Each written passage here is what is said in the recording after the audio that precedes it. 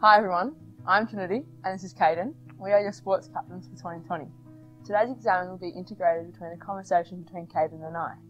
Caden, your main sport is athletics, a widely individual sport, and mine is football. What do you enjoy most about athletics? I like setting myself goals and trying to achieve them. I love the feeling being able to run and challenge myself and keep testing myself out. Um, I also love the social side of the sport as well. It's really important for me because even though it is a largely individual sport, you still have all your uh, people from your club and also who you run with at school and your competitors. And you get all the camaraderie from that. That's what I really enjoy. Uh, what about you, Trendy? What do you enjoy? I just love playing. The feeling of succeeding and being involved as a group is just something that I really enjoy. Yeah. Um, so we can't win every time you know we play and you play, and every time I run I can't get a PB. So how do you deal like with losing? Oh, obviously disappointed, but it also makes me question like why. Was it like in preparation? Was it a negative mindset going into the game? Did I give it my best? Could I have tried harder? Um, did I encourage my teammates as much as I could? Like during the game?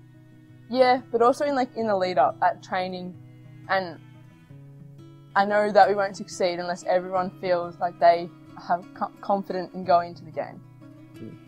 Uh, when I don't reach my goals, I go through the same questioning process. Uh, what did I do, do, What did I do well? But what did I do that could be better? Like, and I go through that idea of looking at myself, looking at what my competitors advice they can give me, what my coach says, what my family says, and all together keep thinking about what's the next step and how I can improve. Yeah, that, that's all part of sport. You take the risk, you put yourself on the line, and you know you have prepared properly and you've done your best. That's all you. That's all you can expect. The result is what it is. Yeah, you can often um, learn from the losses more than you do from the victories. Other times you feel like you're doing everything right and you're prepared properly, but you just can't perform at your best. And, yeah, injuries are often outside your control. It's a big part of the risk we take. We can't expect sport or life to be perfect. I believe that it was an American president, Theodore Roosevelt, in the early 1900s, said something like this A soft, easy life is not worth living. It impairs the fibre of brain and heart and muscles. We must, bear, we must dare to be great, and we must realise the greatness in fruit of toil and sacrifice and high courage. For us is the life of action, of strenuous performance of duty. Let us live in the harness, striving mightily let us rather run the risk of wearing out than rusting out. That's similar to what St. Ignatius encouraged his companions to do. He wanted them to dream big and not be afraid of failure. Setbacks are all part of the process of anything worthwhile. It's not the setbacks that usually count, but it's what people do about it that's important. Let's begin the examen. In the name of the Father, and the Son, and the Holy Spirit. Amen. What opportunities are you grateful for in your life? You may like to think of a sport you are interested in or enjoy playing, or it could be something else.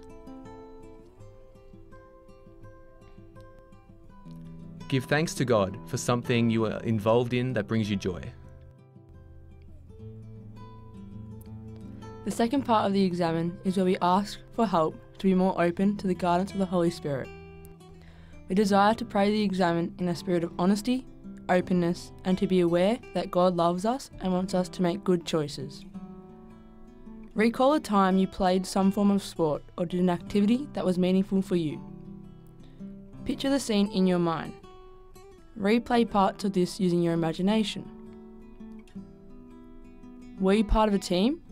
If so, how did the team go? What was your contribution? If the activity was not a team one, what made it meaningful for you?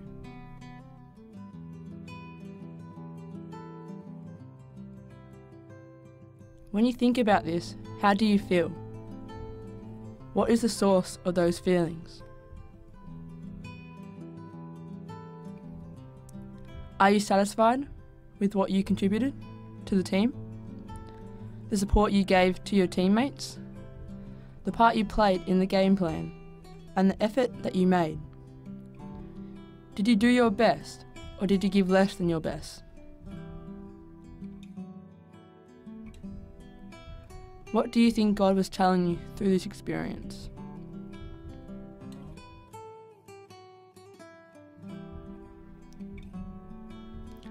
Is there anything you are sorry for?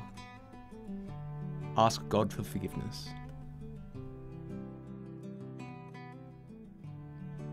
Is there anything that you need to work on when approaching your sport or activity? What steps can you take to be at your best and make a contribution to your team?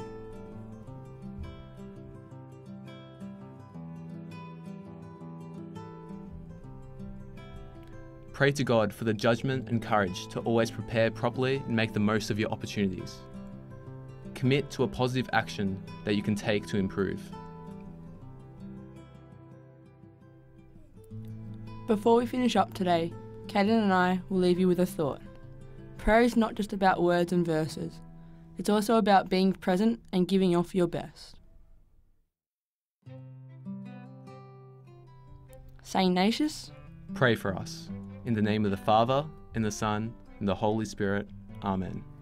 thanks everyone. Hope you all have a great week ahead.